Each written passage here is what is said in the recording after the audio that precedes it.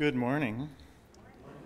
Welcome to worship this morning. It is very good to be in worship with you today. Thank you, Dennis, for the beautiful welcome to worship this morning. Um, as we usually do, I'll start out with a few announcements this morning, and, and feel free to add any um, that I might not go over. Just a reminder that masks are optional. Um, if you choose to wear one, that is absolutely fine. Just uh, please ask anybody before you hug them, make sure they're okay with that also. Um, feel free, if you have joys or concerns, to leave those in the chat online. If you're not in worship with us in the building this morning, uh, we will still definitely pray for you, um, and we will rejoice with you in, in your praises also. Uh, if you have an offering this morning, and you're in house for worship, there's a little church building in the back you're welcome to place that into. And uh, if you're online and you want to give to the church, uh, you can always send to the P.O. Box. Um, that's always available. And thank you so much for that. Our new worship time will begin at 1045. That is next Sunday. Um, don't forget that. 1045 back here in this same space. Vacation Bible School is coming along very soon. Um, if you have any questions or uh, thoughts, ideas, or you just want to volunteer to help, which would be fantastic, just speak with Lyndon. She would greatly appreciate that. And first and foremost, keep Vacation Bible School in your prayers, as we uh, did not have the opportunity um, to do VBS last year. It'll be a, a, more difficult thing to get back going again this year. So just be in prayer uh, about the ministry of this church and reaching out into the community again to experience Vacation Bible School. Are there any other announcements this morning that I might have missed? All right, seeing none, if you would please stand with me. We're going to sing hymn number 394, Something Beautiful. And we're going to sing this twice through.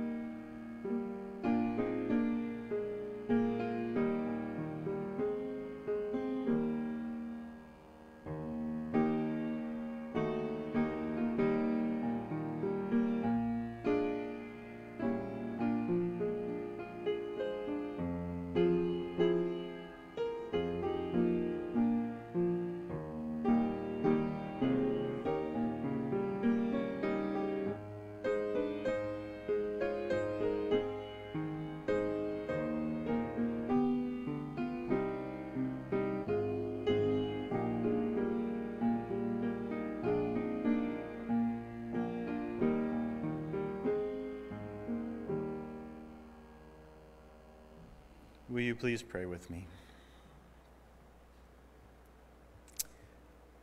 Heavenly Father, we stand here before you this morning in, in your presence. Um, God, and that is beautiful. Thank you for taking our, our misunderstanding and our confusion in life, and God, thank you for making something beautiful out of that. God, um, this beautiful bouquet that you've created this morning in this sanctuary, we are so thankful for. It is so good to hear voices coming together to sing, to see smiles on faces, and just to have this opportunity to freely worship together. God, we are so, so thankful for that. God, we just pray your presence be on every ounce of what we do here this morning, and may we glorify you with all of it. In your name we pray. Amen. You may be seated.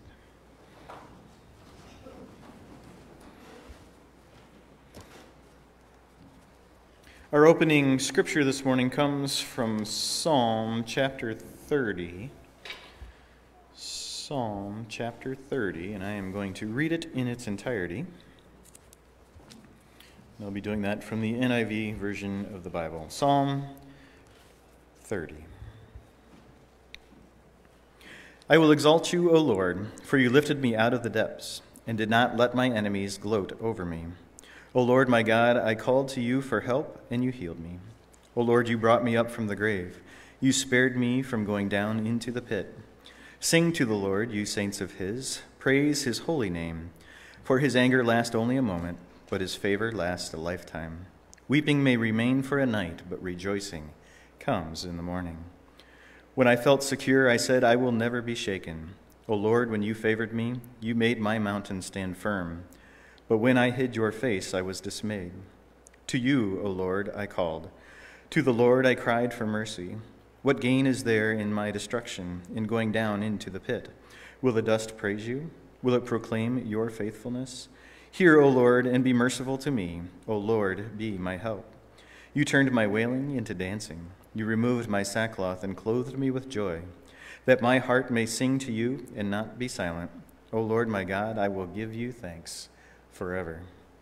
The word of God for the people of God.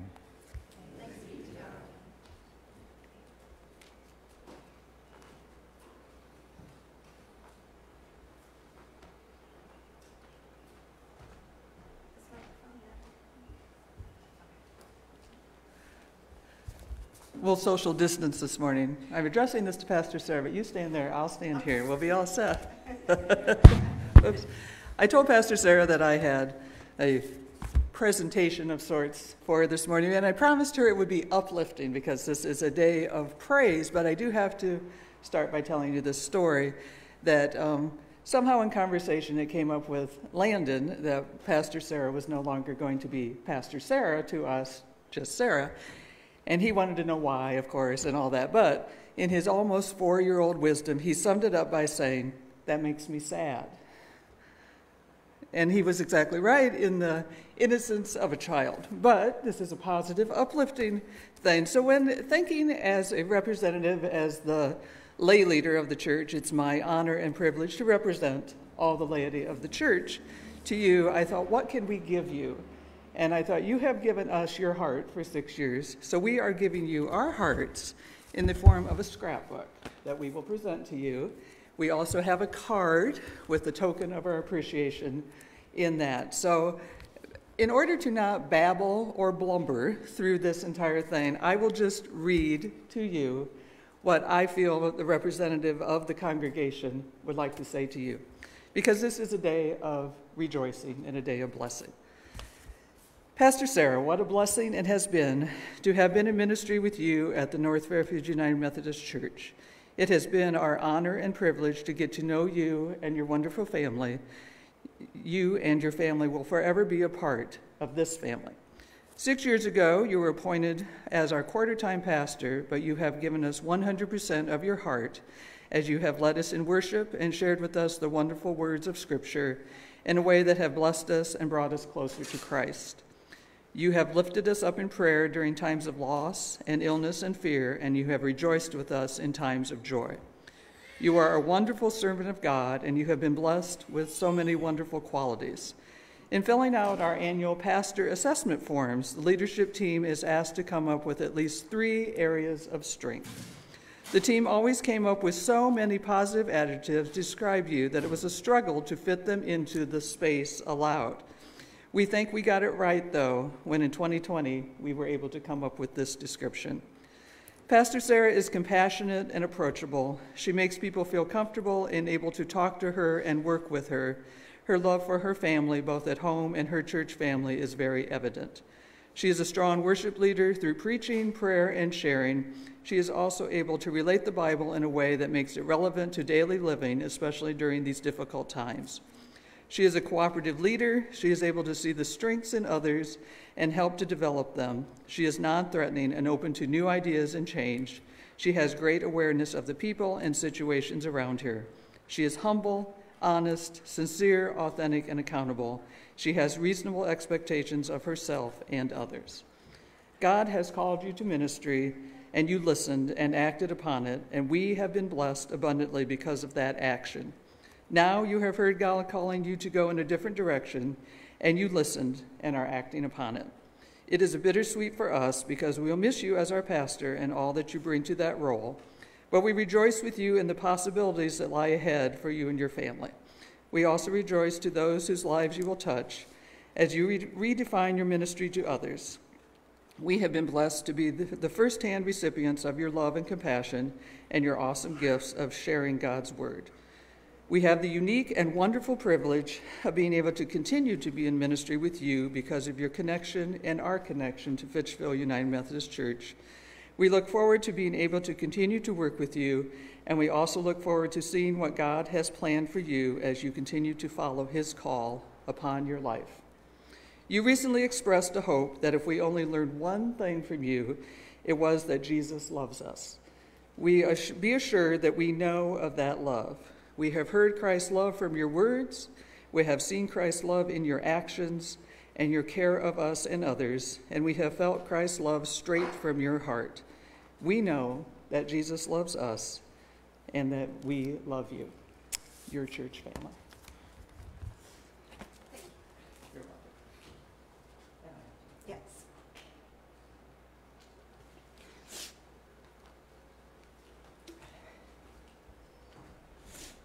I too have written something for this time, and I will probably blubber through it, but you did excellent. So uh, that's a hard shoes to fill there on many accounts. So I had to write this so that I wouldn't just blubber and blubber, and I got tissues too. So we're ready. So I'd like to take this time today, this moment of gratitude, to express to this faith community my deepest gratitude for the journey that we have traveled together these last six years. I have told so many people that I hit the lotto with this appointment.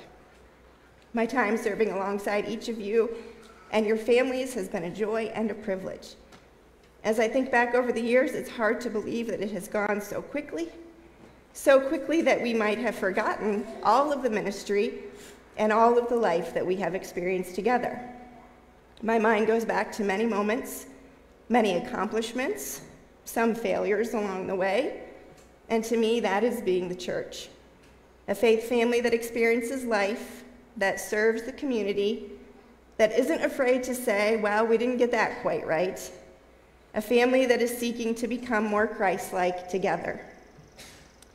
I think back early on to the exploding fizzy stuff of VBS that occurred in the side yard but I remember too there was some exploding fizzy stuff in the sanctuary.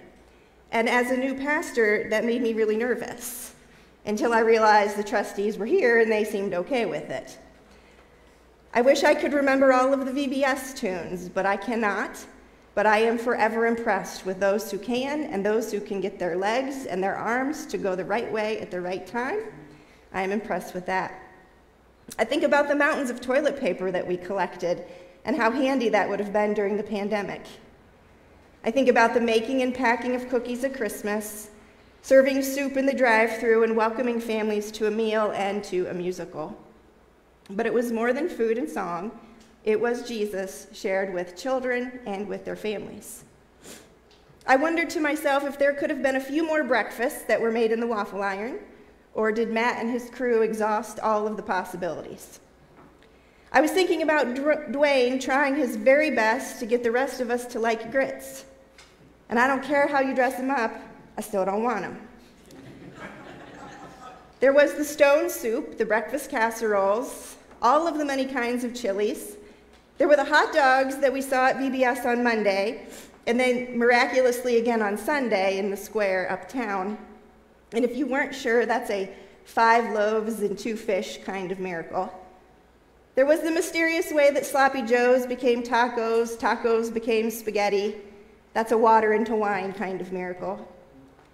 And we can't forget about the peach cobbler and the ice cream. Although we're two years without it now, and there's something wrong with that. So you should rebirth that. And I know we're Methodists, but the ministry here was not just about the food. There were games too. There was camping and canoeing and slip and bleeds. There was dodgeball and basketball with our fifth quarter kids. There was times when we only ever saw the fourth quarter of the football game. Those times when it went into overtime and we realized we were really out past our bedtimes. But in that time, we shared board games and laughter and snacks, and Jesus was shared with our young people, and it was a beautiful thing.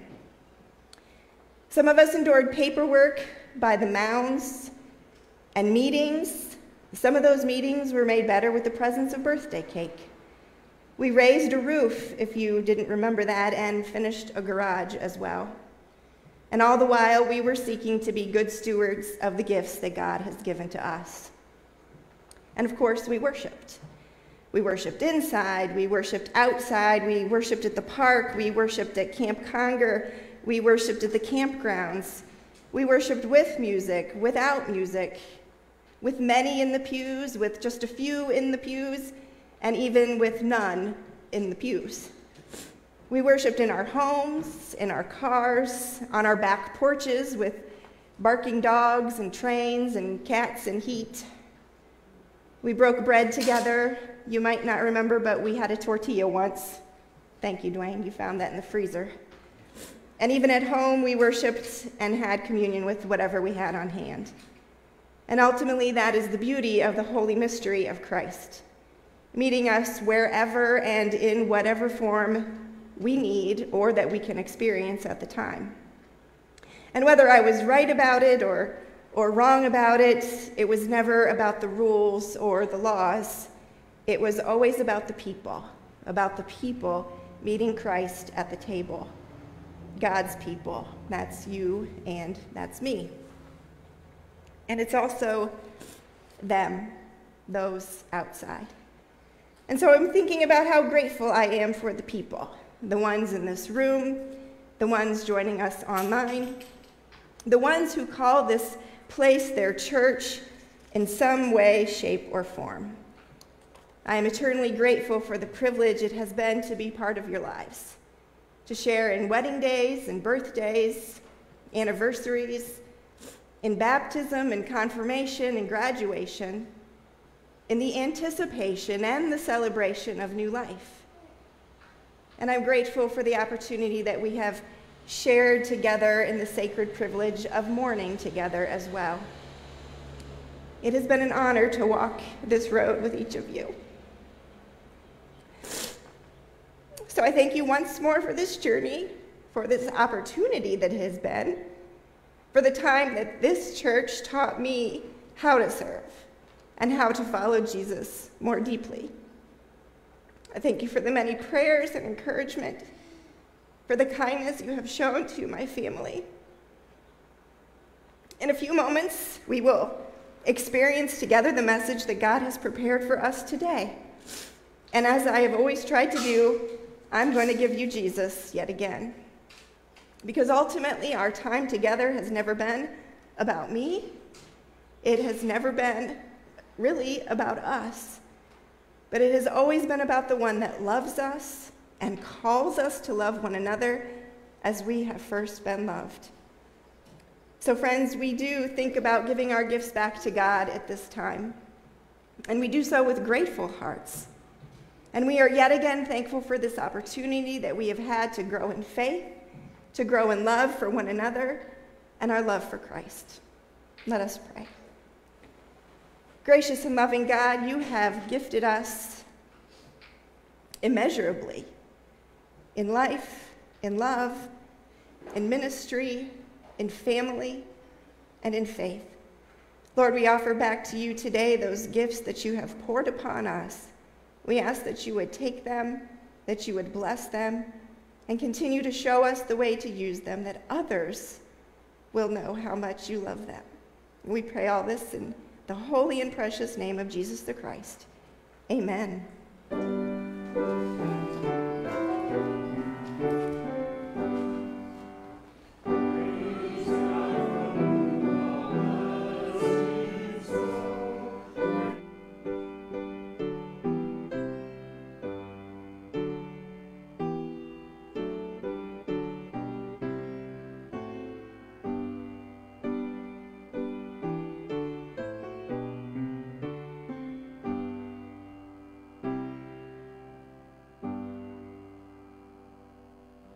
Amen. You may be seated. I think I'm also supposed to remind you that there's a reception downstairs after worship if you can stay. Um, instead of greeting you at the sanctuary door, I'll greet you at the bottom of the stairs. And um, unless you have a hall pass, you'll be strong armed into staying. So be, I know Dave already gave me his hall pass. Something about drinking beer. I don't Selling it, drinking it, whatever you want to go. So we'll now share in our joys and our concerns. Are there those that you would lift up today? Do I- My sister Virginia is going to be in continued need of prayer. Her cancer is proving to be complex. Uh, her general prognosis remains good, but this is going to be a long, difficult trial.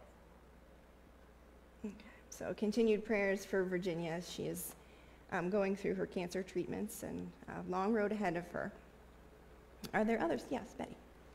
Uh, prayers for the family of Rick Ingram. He's Richard's nephew. Um, six weeks from diagnosis to death, and he died last Sunday. So prayers for the family. Family of Rick Ingram who has passed away. Are there others? Joys or concerns that you would lift up this morning? Oh, Matt. I wrote mine down. Um, joy and uh, a concern. Um, just a joy for having you as our pastor. That's been absolutely uh, fantastic, and a, a, not a concern, but a, prayers for just next steps, uh, new chapters in life. Um, so I, wrote a couple things down, so I didn't blubber, but you guys. Um, Leanne said everything perfectly. Uh, uh, this just, yeah, came to me, so I, I wrote it down. Um, back in the day, uh, when people used to write let- letters to one another, there'd be occasions after the letter was finished and it was signed that another thought would cross the mind of the writer. And so, under their signature, they would write two little letters the letter P and the letter S. And those letters would be followed by a finishing thought. Those two little letters, P and S, stand for postscript or postscriptum if you're into Latin origins. Literally translated, postscriptum means written after, or after text. It is an additional thought added to a letter. According to Wikipedia, a postscript lets you reiterate an important point that has already been addressed in the letter that helps create emphasis where it is most needed. Now, I want you to take that little bit of knowledge and put it in your pocket and hold on to it a minute. Because for over the past six years, you and I have had the privilege of getting to know another PS. That's Pastor Sara. Today marks the last scheduled opportunity for her to stand behind that pulpit and share God's word with us.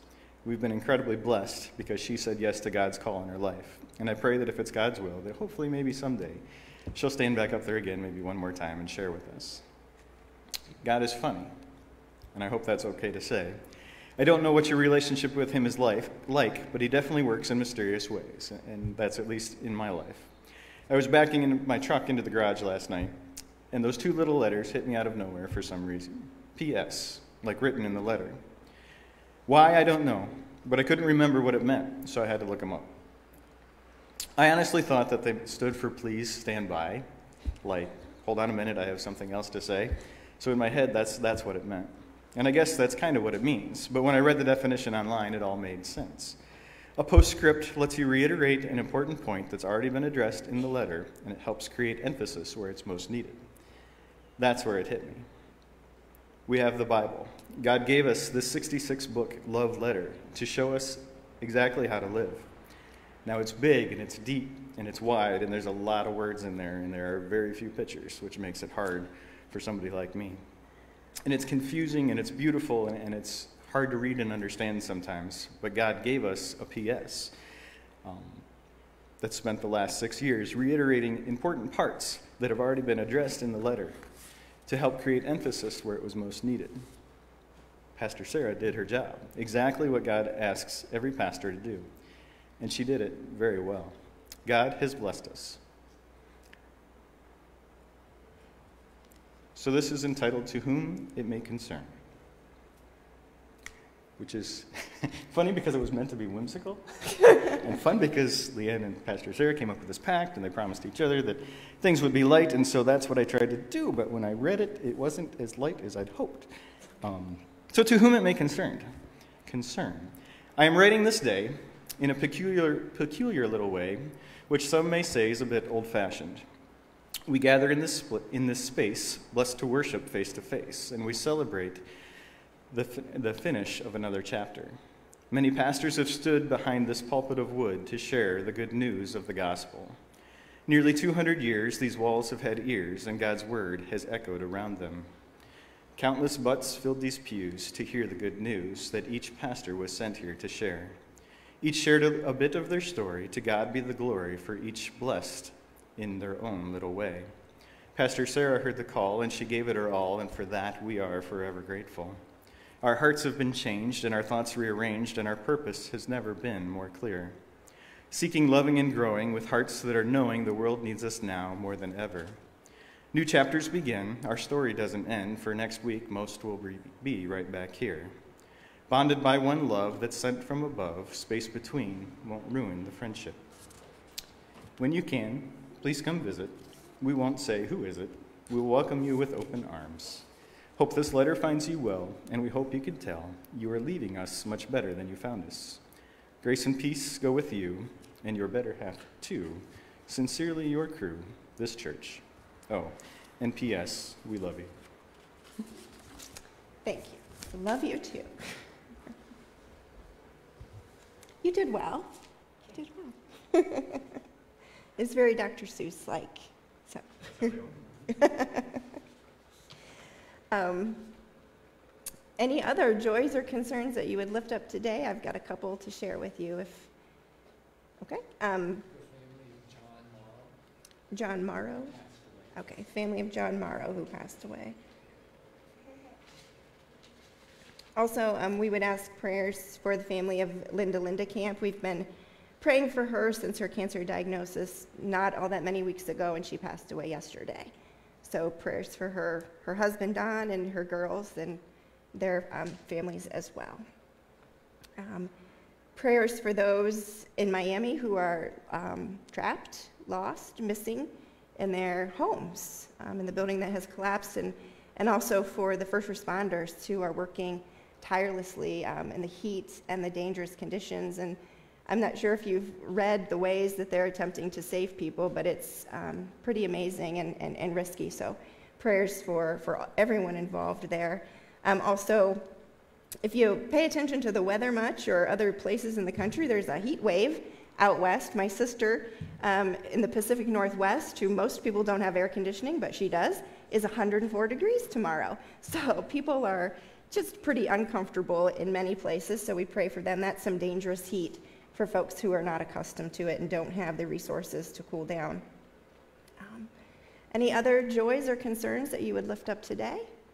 Okay. I would ask that we continue um, prayers for Ted and Sherry as they come to be with you next week and, and to bring their ministry to this place. Um, today, they are dedicating the prayer garden at New Haven to Pastor Bob, and so our, our hearts are with them today as they do that as well. Any others? Okay, let us go to the Lord in prayer.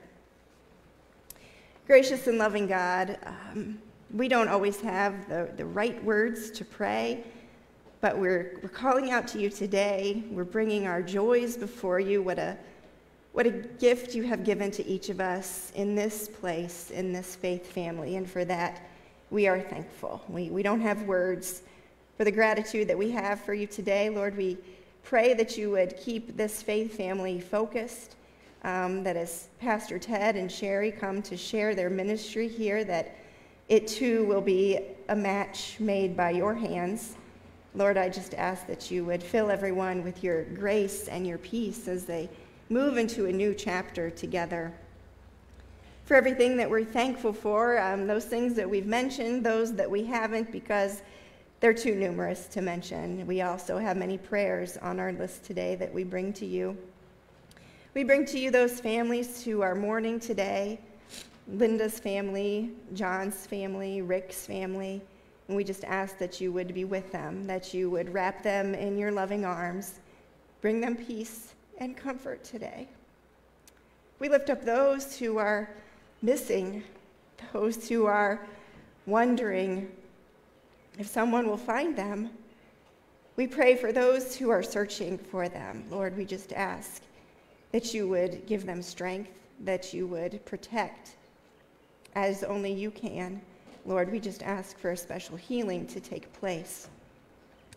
We lift up those who are experiencing heat waves, Lord. We ask for protection as well. We pray for Virginia she has a long road ahead of her. Lord, we just ask that you would bring her strength and comfort, that those who care for her would do so with mercy and with grace. And we pray for next steps, uh, not just for this faith family, but for all faith families that are facing next steps today. Lord, you have been with us. Increase our faith that we know that you will be with us.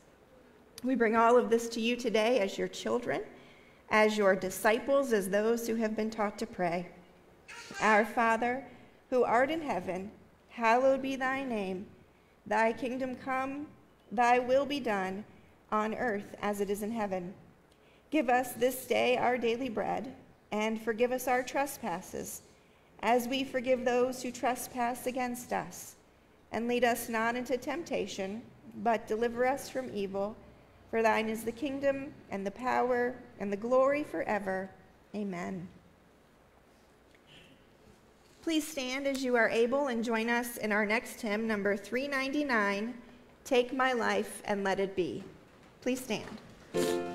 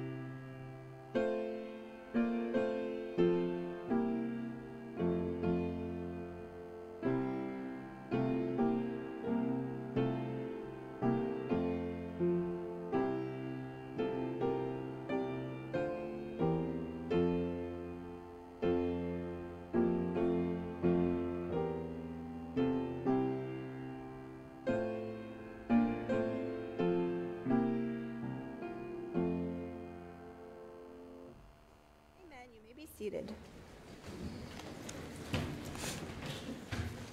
Our New Testament reading today comes from Mark chapter 5, verses 21 through 43. When Jesus had again crossed over by boat to the other side of the lake, a large crowd gathered around him while he was by the lake. Then one of the synagogue leaders named Jairus came, and when he saw Jesus, he fell at his feet.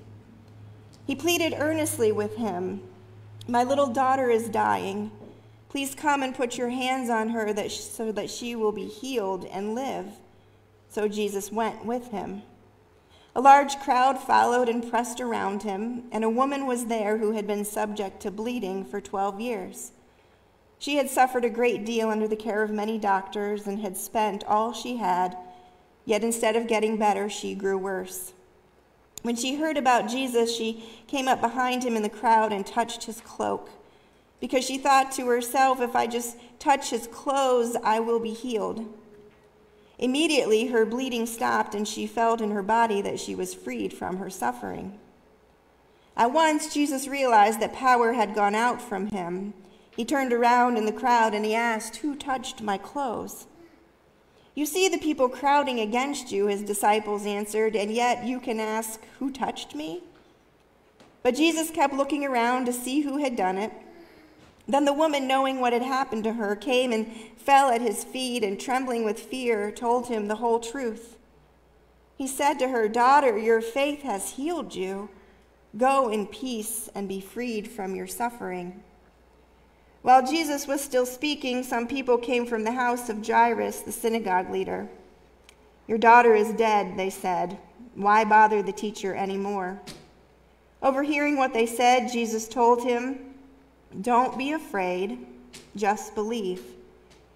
He did not let anyone follow him except Peter, James, and John, the brother of James.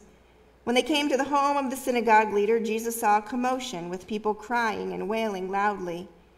He went in and said to them, Why all this commotion and wailing? The child is not dead, but asleep. But they laughed at him. After he put them all out, he took the child's father and mother and the disciples who were with him and went in where the child was. He took her by the hand and said to her, Talitha cum, which means, Little girl, I say to you, get up. Immediately the girl stood up and began to walk around. She was 12 years old. At this, they were completely astonished. He gave strict orders not to let anyone know about this and told them to give her something to eat.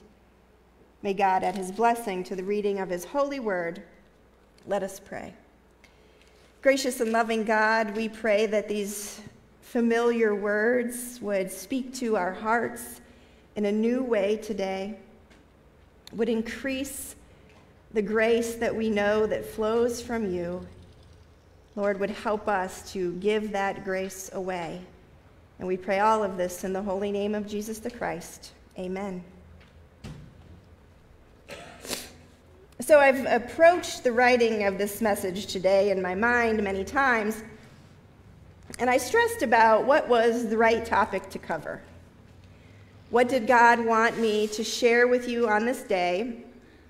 Not this final day that we will be together, but on this day, because I believe in my spirit that this is not the final time that we will be in ministry together, just perhaps maybe in this form. So I looked up common passages that pastors would use when they're moving, whether they're retiring or, or going to a new appointment. And they were all wonderful passages, passages about God taking us into the promised land, grand stories from Exodus where God defeated the enemies of the people and, and led them towards the promised land. But although it is warm in here, we're not walking in the desert. Instead, we are looking forward to the many ways in which God has planned to use the gifts of Pastor Ted and Sherry, combined with the gifts of this faith community, to continue to spread the gospel of Jesus Christ. We are already in the land which we have been called to. We are already in the mission field. And we are looking forward to the new ways in which God has planned for us to live in and to serve that mission field. We know that the grace of God is in this place. We have experienced the grace of God in our lives. And so I wondered to myself, what do we do with what we already know? What do we do with what has been given to us? What do we do with the grace that has been with this faith family, as Matt said, some 200 years? So I was thinking about this break room that we have at my secular job, my nine to five job. We have a break room, and in this break room, hardly anyone ever eats their lunch. It has this refrigerator from 1982 that will never die, although it sometimes smells like it has. There's a garbage can that seems to be invisible to the human eye when it's full. There's a television that only one person knows how to operate. That's Walt. If you want to work it, you've got to find Walt. There's a toaster oven that showed up one day, and I think it's for burning things. so that the whole building smells like your lunch. And then there is this table. It's a common table. It's, it's, there's nothing fancy about this table, but I want to talk about this table in the break room. This table is the place of sharing. If you brought in a treat for your birthday, it goes on the table. If you had leftover cake from your niece's wedding, it goes on the table. An abundance of zucchini from your garden, put it on the table. Cleaning out your desk before you quit, put those extra pens and those coffee cups from the vendors on the table. By the end of the day, it's all gone.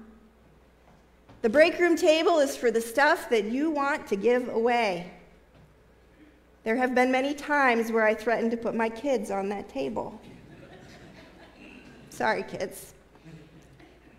The magical break room table is for giving things away. In fact, on Friday, I got one of those little tiny baby crock pots. It was there. I took it home. Didn't have one, so. That is what we do when we have too much of something, right? Too much from our garden, give it away. Made too big of a batch of soup, give it away.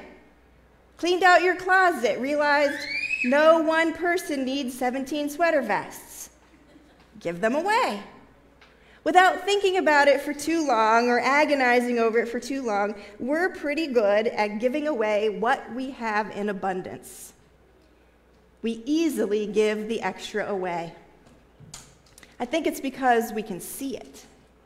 We can see the thing that we have too much of too much zucchini, too much cupcakes, too many sweater vests. And so it's easy to give it away when we can see that we still have what we need, right? It's a little bit more tricky to give away what we cannot see. It's tricky to give away what we can't count giving away something that we can't store on the shelf and feel secure about it because we can see that we still have enough. That's a different story. It's, it's a lot more challenging than giving away what we have in abundance. That kind of giving requires faith. That kind of giving requires confidence in the giver of those things that sustain us, those things that we cannot see those things that we cannot quantify. In the six short years that we've been together, I have witnessed and experienced the grace and the power of God in this place time and time again. I cannot count it. I cannot tell you that God has given this faith community two tons of grace, and that's all that we're going to get. And so we have to be wise with what we do with it because grace doesn't work that way. Grace is immeasurable. Grace doesn't require replenishment. The grace vending machine is never out of order, and it doesn't even take your dollar bills anyway. And so it would seem to me that we have an abundance of grace the very presence and power of God in us, and yet it is still sometimes a challenge to give it away. So I wonder to myself, we have so much. Why do we struggle to give it away? As followers of Jesus, we often say that Jesus is our example for living. In Jesus, not only do we see the very character of God, but in the life and the ministry of Jesus, we see the example for our lives as disciples, as those who are following Christ. In Jesus, we see his willingness to sit with and to share life with all types of people, from all walks of life, from all backgrounds. He'll sit with the saints and the sinners alike. In Christ, we see a willingness to, willingness to dine with enemies and even to forgive our betrayers. In Christ, we see peace in the storm. We see confidence in our Heavenly Father. We see sacrificial love and acceptance and forgiveness. In Christ, we see patience with the young and with the old alike, patience with the doubter and with the demonized. In Jesus, we see self giving love and healing. And as I was thinking about these attributes, what strikes me most about Christ and who he was, how he lived, how he loved, how he served, was his willingness to give it all away. He willingly gave love and patience and mercy. He gave forgiveness and acceptance. Quite simply, Jesus gave away grace like his shelves were full of it, like he would never run out. He just keeps putting grace out on the table for the taking. In our passage from Mark today, we have these two examples of Jesus giving away grace like it's never going to run out, like the well of his grace will never run dry.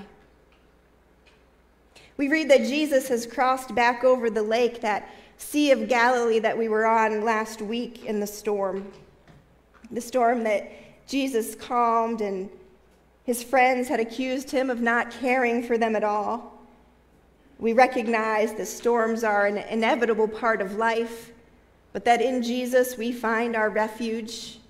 We find the one that cares for us infinitely more than any storm can ever damage us. So when we catch up with Jesus today, we know that he's been working hard. He's been healing and, and calming storms and caring for people, for all people. If we read the passage before the one we read today, we would read the story of Jesus casting demons into a herd of pigs, and he sent them flying over a cliff, teaching us that pigs really do fly. And what we would learn in these previous passages is that word about Jesus has gotten around. Some people are intrigued by him. Some are actually coming to believe in him and to follow him, and then there's others that just want him to go away. He makes them fearful by what he is doing. They are afraid of his power. And so Jesus has come back, likely to Capernaum, the place where he spends a good amount of his ministry. When he arrives, of course, he finds this large crowd waiting for him. There's, there's no moments to rest.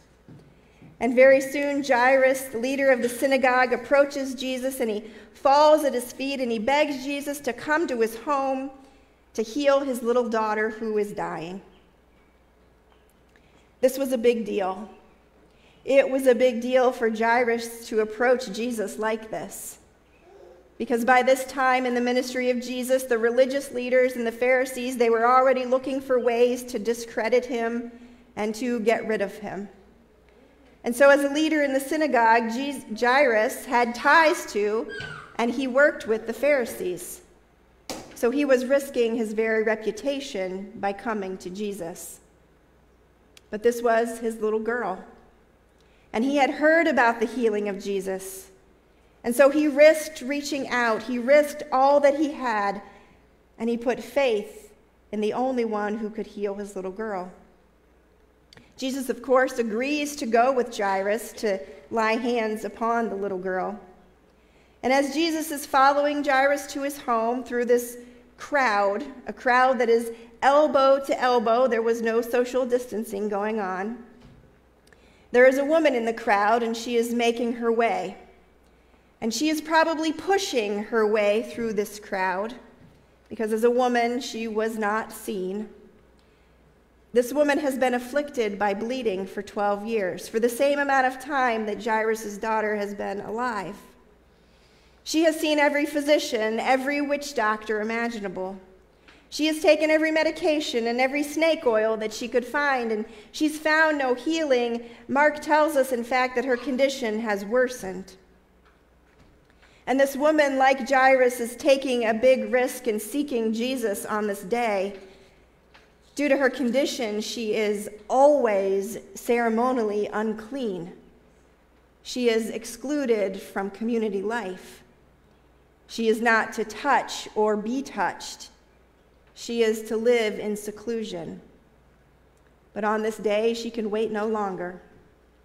Jesus is near and she's going to take her chances. And so I imagine that she has attempted to disguise herself so that no one recognizes her and throws her out of the crowd.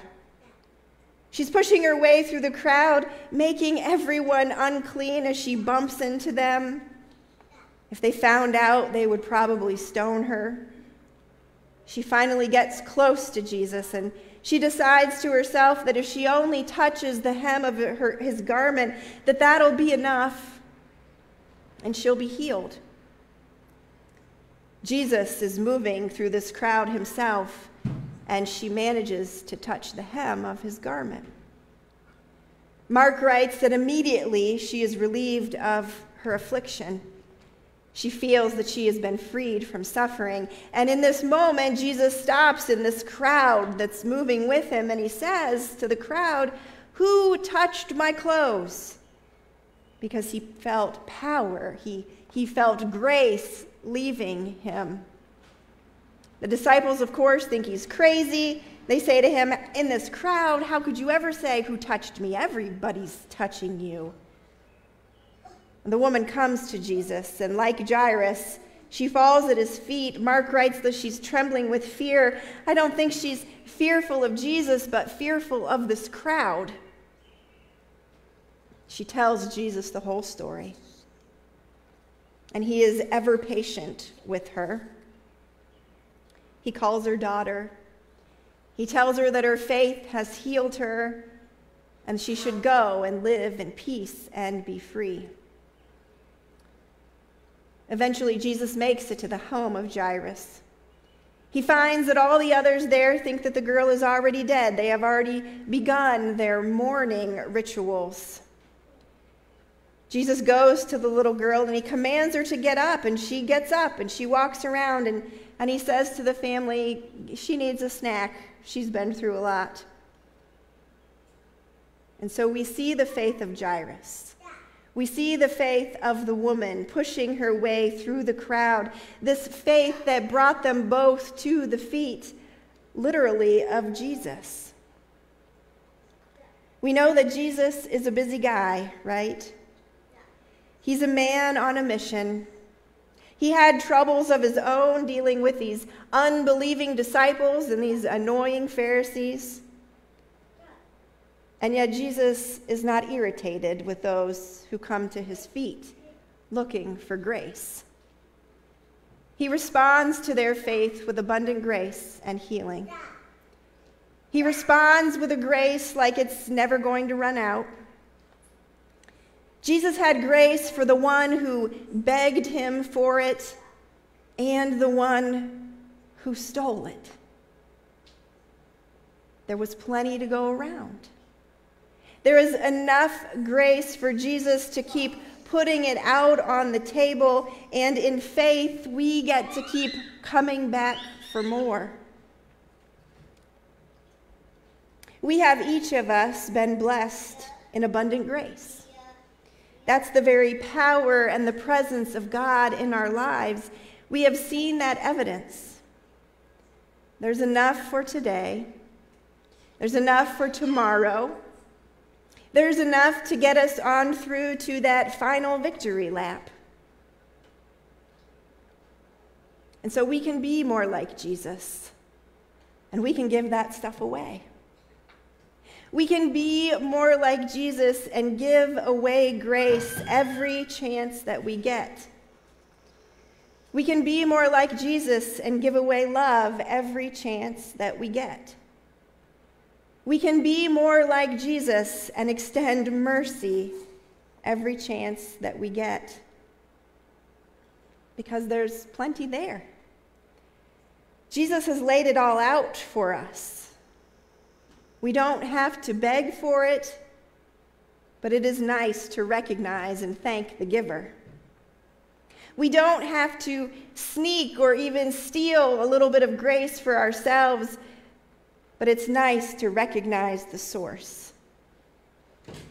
We have this assurance in the source and the giver of grace. This assurance that there is enough for today, there is enough for tomorrow, that it won't run out. So just give it away. Give it away on the table, on the street, at home.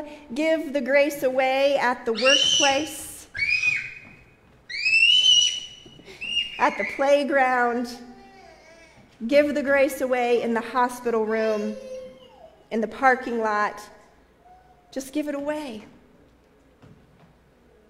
I thank you once again from the bottom of my heart for the grace that you have each given to me. And I pray today that the God of all abundant grace will continue to encourage you, to equip you, and to give you the strength to keep on giving that grace away. Amen. Let us pray. Gracious and loving God, we thank you for the abundant grace that you never hold back from us. We thank you that when we beg for it or steal it, when we don't even realize that we need it, that you give it away.